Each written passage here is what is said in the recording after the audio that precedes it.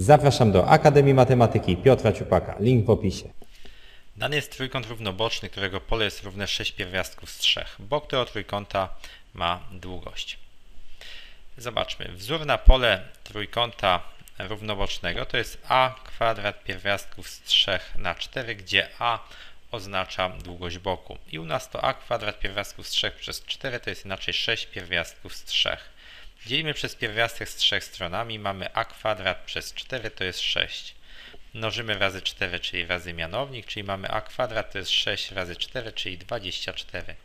Nasze a kwadrat to 24. Pierwiastkujemy stronami, czyli a jest pierwiastkiem z 24 lub minus pierwiastkiem z 24, ale bok nie może być ujemny. A pierwiastek z 24 to jest pierwiastek inaczej z 4 razy 6. Pierwiastek z 4 to 2, pierwiastek z 6 to pierwiastek z 6, czyli bok A ma długość 2 pierwiastki z 6, odpowiedź C.